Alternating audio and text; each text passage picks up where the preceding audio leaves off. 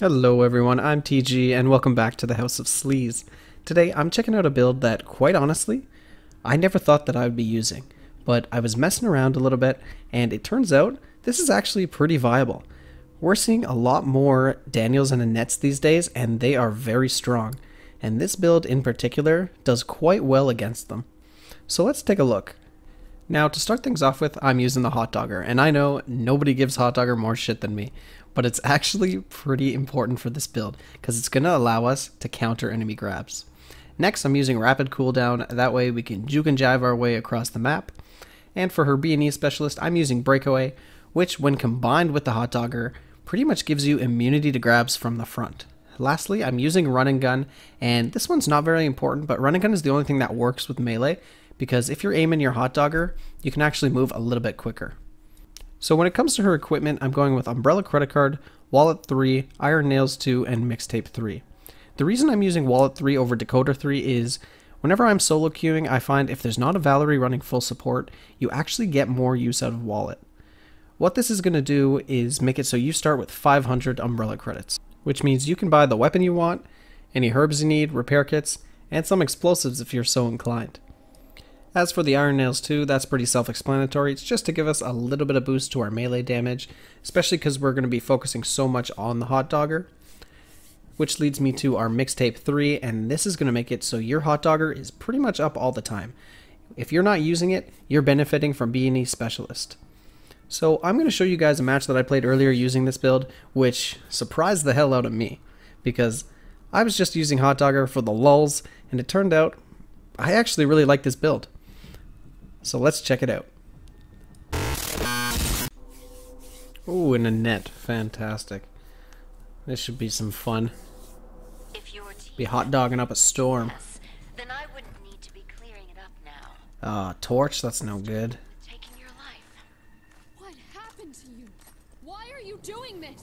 Guess I'm gonna need to pour all my money into repair kits. Because this torch ain't gonna last long, especially if she's going thick Annette.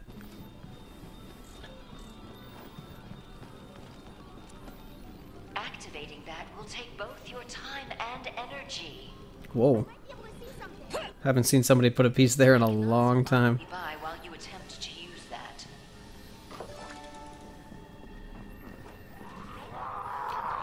So I hope the old team doesn't get too mad when they see I'm going melee.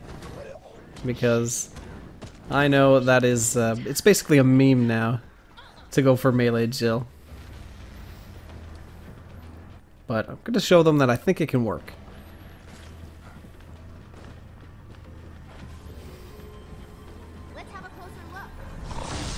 I mean, the Hot Dogger does get a lot of shit, but I was testing it out, and if your latency is on point, it's actually pretty damn good.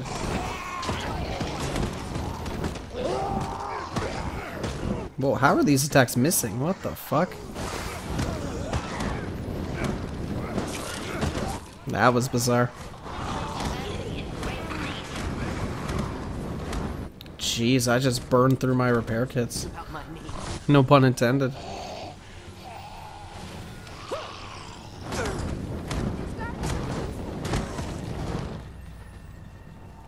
Oh man, Valor just got in and got the fuck out. She knows what she's doing.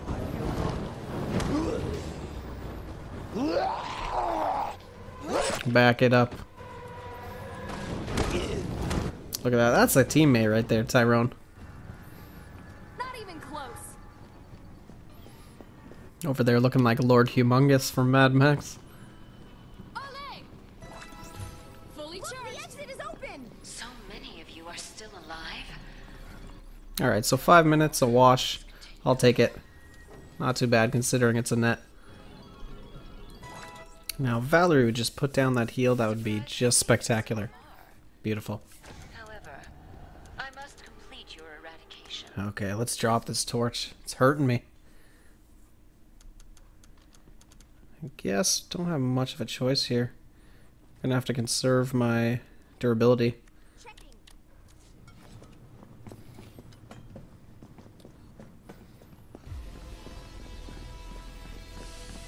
So pretty quiet out here. Oh, as I say that.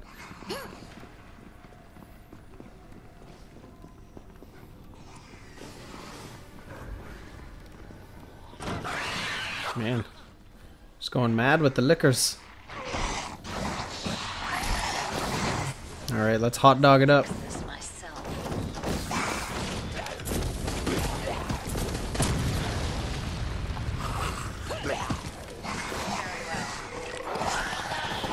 Oh, I don't think so.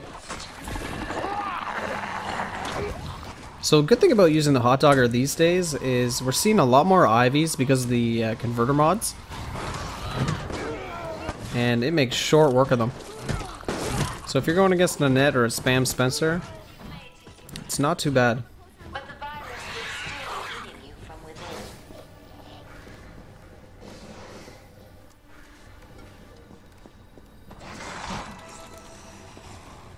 Alright. I gotta go get me a herb.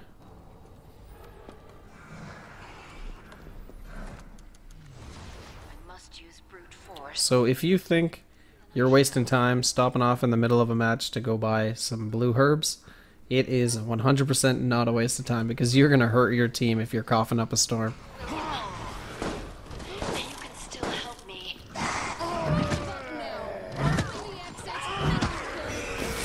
Damn. This licker is chonk. Now, I'm probably going to regret this, but I gotta take this licker down.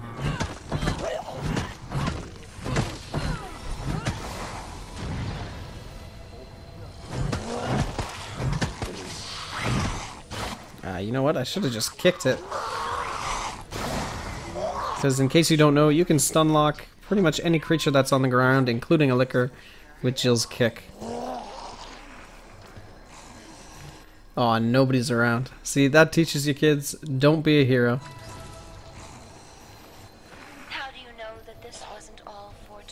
And I just know they're all thinking, well, what's the point of helping her? She's just being a fucking Jill. Make your peace.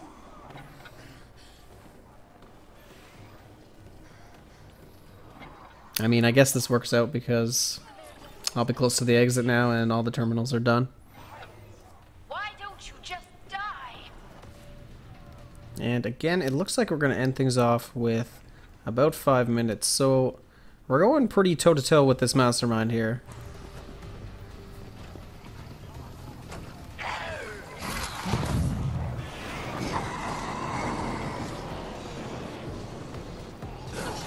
Whoa, well, what am I doing? Let's get out of here.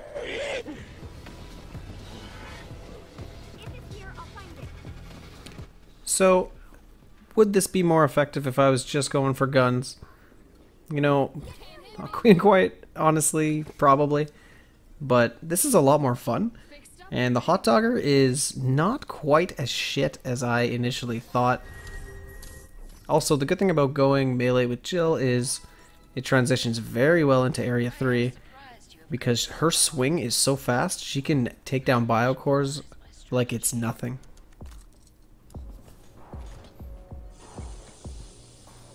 Ooh, flash grenade. Don't mind if I do.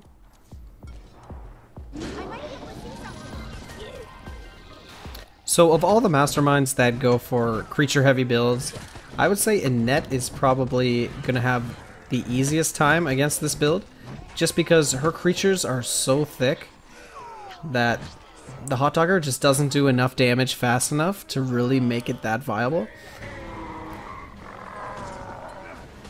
Well, that was a wasted Birkin.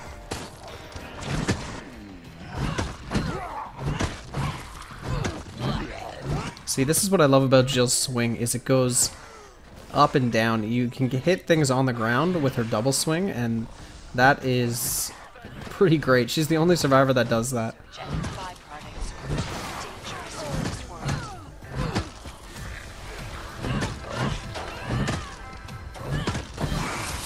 Man, these lickers.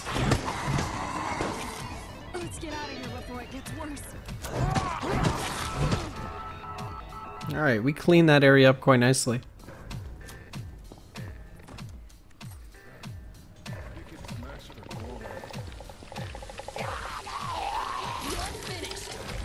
Alright, back it up there, Ivy. William. Trace our past, and then I shall also Now, I would like to say that the Hot Dogger has some kind of viability against bioweapons, but it really doesn't. You're better off with the Samurai Edge or the rocket launcher, either or.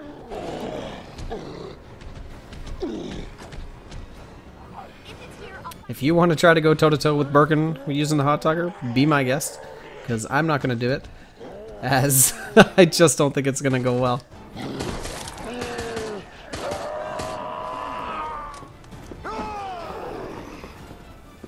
We'll just sneak in a few hits here.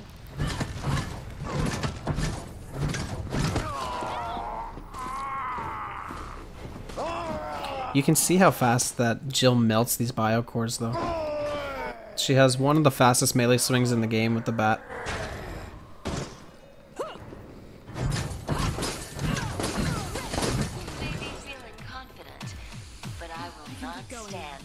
Alright, lucky last.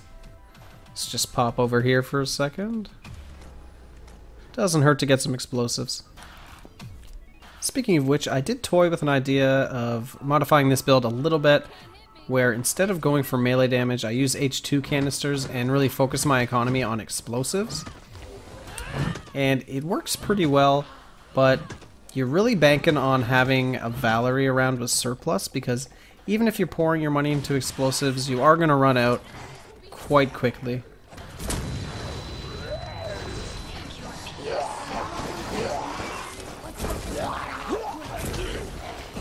Man, and since they changed the imposter zombies to actually do the triple swing, uh, which is a great addition by the way, I actually find myself being tricked by them.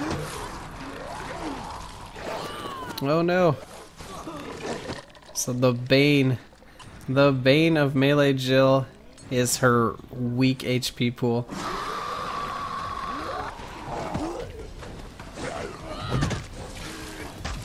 What I do like about her though, it's much like what I like about Spencer these days, is all the options that you get.